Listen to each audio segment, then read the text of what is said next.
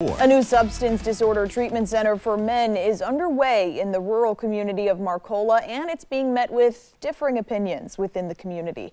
Thanks for joining us this afternoon. I'm Ariel Yakabazi. As KEZI 9 News reporter Jennifer Singh shows us, the center is becoming the talk of the town. This once was an elementary school here in Marcola, but now it's being reconstructed to be a men's sober recovery facility. The school was sold to Brothers Sober Living House back in January after they reached out to Lane County requesting to use the old school as a drug and alcohol inpatient treatment center, health services, or a halfway house.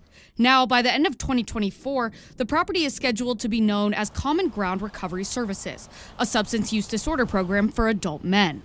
You know, the idea is to have a continuum of care that that starts at you know at a detox setting into a residential setting into a sober living setting and then transitions into outpatient I talked to Vernon Rose Jr. over the phone, who was hired to become the executive director of Common Ground Recovery Services.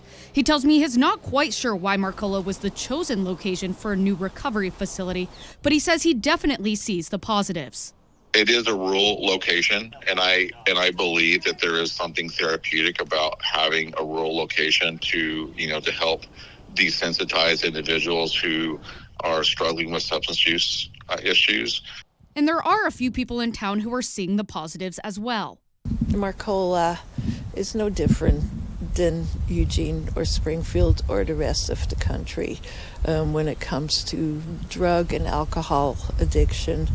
Um, and we need services. They are so limited. But there are also a lot of people who are having trouble. Well, the thing is, is there's no resources out here. Like I've touched on before, there's no law enforcement response, hardly. Um, medical response is very delayed at times. There's no jobs. There's no transportation. Some people I talked to tell me they're skeptical about Marcola being the facility's new home.